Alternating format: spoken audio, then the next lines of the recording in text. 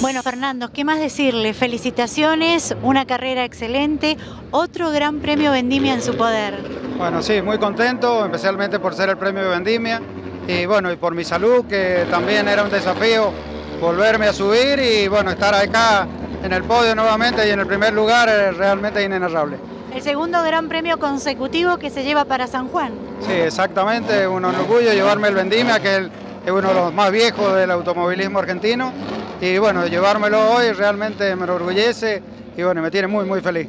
Una largada excelente para estar en la punta y no largarla hasta la bandera de cuadros. Sí, se me empezaron a venir y bueno, había hecho un poco el plan de carrera de cuidar un poco los neumáticos, bueno, había puesto nuevos y bueno, después aceleré las tres o cuatro últimas vueltas y bueno, estuvo el resultado. ¿Se comportó bien el auto? Muy bien, un motor, un cañón, eh, todo, todo, todo, dobla, frena, acelera y, y algo pongo yo también. ¿Qué significa para usted ganar un gran premio Vendimia?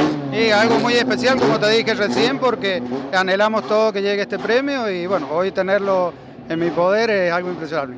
Felicitaciones por el trabajo. Bueno, muchísimas gracias, saludos a la audiencia y bueno, me, me hacía falta por un montón de motivos este triunfo. Gracias. A disfrutarlo. Gracias.